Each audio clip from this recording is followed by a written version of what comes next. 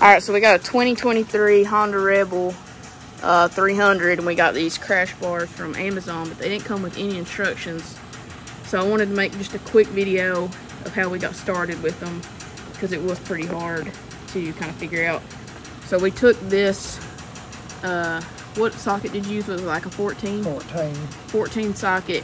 And so we've got it on there now, but where you can see, like right here, you know, my finger, we pulled this black thing out that my dad's got here with a 14 socket.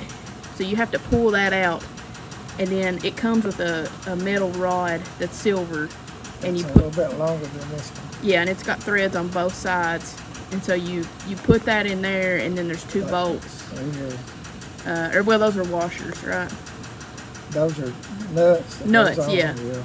and he knows all about this I don't locking nuts and stuff. And one so you have to put those in there but I did want to I did want to go ahead and do like a quick video to show y'all how to get it started because we struggled for a minute and I read a lot of reviews. So there's no instructions that come with this. I'll uh, I'll post a picture of the ones we got specifically uh, but this is for the 2023 uh, Honda Rebel 300 and uh, as far as I can tell I couldn't find a video out there at least giving us this much. Go Okay. This thing comes with two little black, where they at? Two black mounts like this. One of them has screws, a metal screw thing in it, and one of them don't.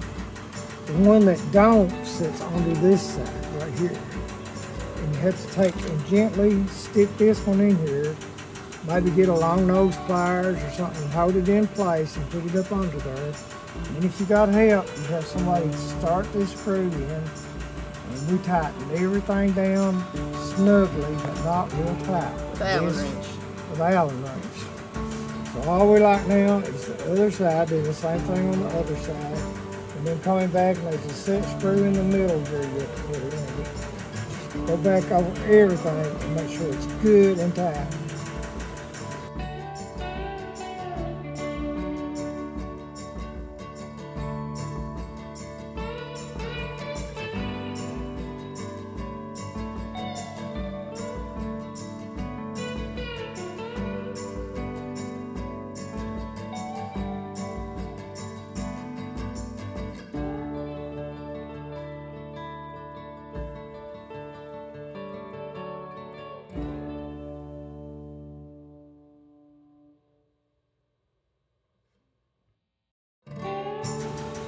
All right, so now the last thing we need to do. The last thing we need to do is tighten up these two with the Allen wrench. And again, you'll have two of these brackets. It's kind of a two-person job.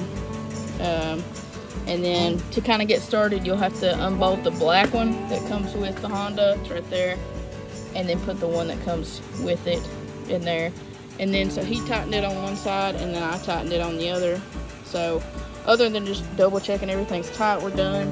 There's a tiny screw right here that goes in there that kind of connects those two bars right there. So, but other than that, we're pretty much done.